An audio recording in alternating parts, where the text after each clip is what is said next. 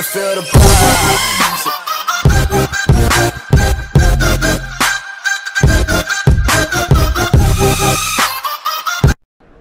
Ideale Köpfstimmung in Schippis, wo aber die Bäume für die Einheimischen nicht in den Himmel wachsen. Czavusevic bringt den FC Zürich nämlich bereits in der dritten Minute in Führung. Die Walliser spielen mit, was ebenso attraktiv wie verhängnisvoll ist. Dvamena erhöht nach einer Viertelstunde auf 2 zu 0.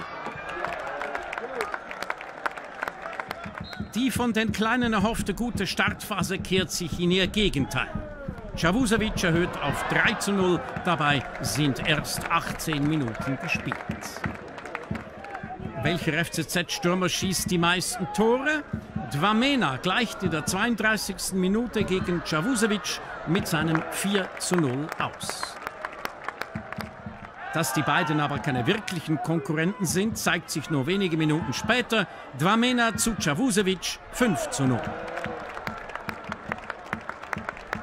Die Sache bleibt einigermaßen monoton. Nun ist wieder Dvamena dran. 6 zu 0, 36. Minute.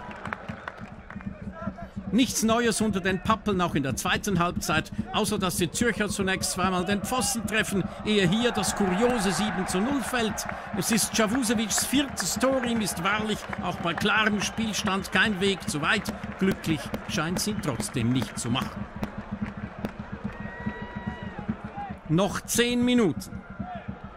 Und das ist Czavusevics fünftes zum 8 zu 0 und endlich der Hauch eines Lächelns. Zwei Minuten später. Kone 9 zu 0. Wieder zwei Minuten später, wieder Kone 10 zu 0. Der FC Zürich siegt mit 10 zu 0 Toren. Die Hälfte davon gehen aufs Konto von Czavusevic.